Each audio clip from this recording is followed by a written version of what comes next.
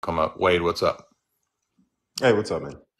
Um, so I, I just wanted to hop on and ask you. I, this is the first time I've seen you talk about anything or comment, so I'm try, been trying to get a little centered on what your position is. Sounds like you're Orthodox and everything.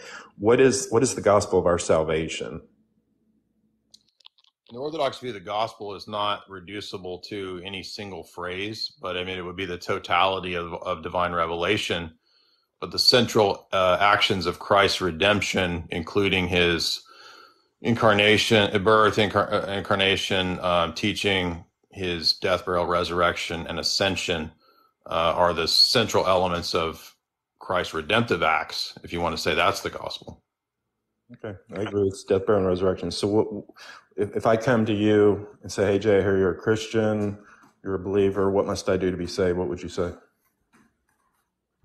Well, I mean, I assume you're going to say from Acts, confess to the Lord Jesus Christ and you'll be saved. But I don't think that was ever intended to be a lowest common denominator scaled down Romans road thing where that's all you have to do. Because if you look at the rest of what Paul teaches or the, the New Testament, I mean, there's a lot of things that are required.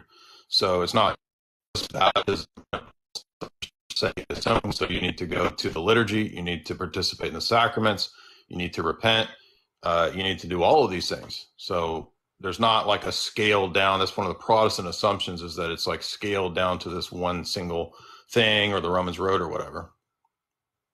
No, right. And I wasn't alluding to directly to Acts 16. I'm just wanting to know if I come to you and want to know how to be saved. So you, basically, if somebody realizes they have the right Jesus, you know, that he's God in the flesh, triune, Father, Son, Holy Spirit, that he died on the cross and shed his precious blood for our sins, that he was buried and raised again, and putting your faith and trust in Christ alone, believing that he did that for you, and trusting in Christ alone is insufficient to save a sinner's soul, is what you're saying. Well, I mean, you're just restating your evangelical assumptions as to what all these New Testament texts mean. And so I have a different reading of those texts, and I don't think the reading that you have would be consistent.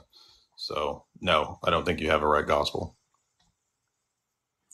Okay. Well, I just want to confirm that you are, in fact, a heretic. So that that was for everybody else because you know I was being nice, but that's a that's a nice little uh, condescending snicker there. But yeah, yeah. Where where were where were the Wade believers in the fourth, fifth, sixth, seventh century?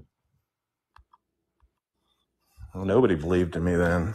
Hopefully, nobody believes in me now. Where were the people that had your view then? Besides the Apostle Paul, who predates him, the fourth, fifth, and sixth century. Uh, he he would be first century. I know. That's why. That's I don't know how much. I don't know how much history you study. Yeah. You, you, you're, you don't even know what you're objecting to. The fourth, fifth, sixth century. Where were the people that had your view? Running from people that make up home. Somebody who had your views. What's that? Can you cite any of the historical examples of people that had your views in those centuries? Dude, I'm scripture alone.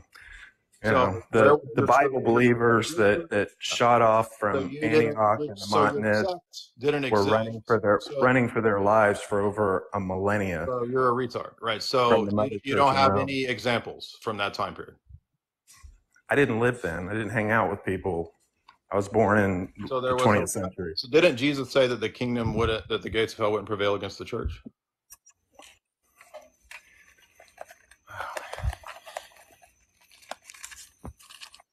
Exactly. Silence. So just this arrogant delusion with his pretending to be nice. You see how so you're so mean. Now, people, in, especially in religious circles with these delusions, they pretend to be pious and nice. Hey, uh, I'm Wade. I'd like to speak to you, gospel of Jesus Christ. And then you ask him simple questions about, okay, so you think I'm a heretic. Where was any of your dumb heretical group in those centuries? And then he goes quiet with his nervous voice, breathing really hard. Okay, wait.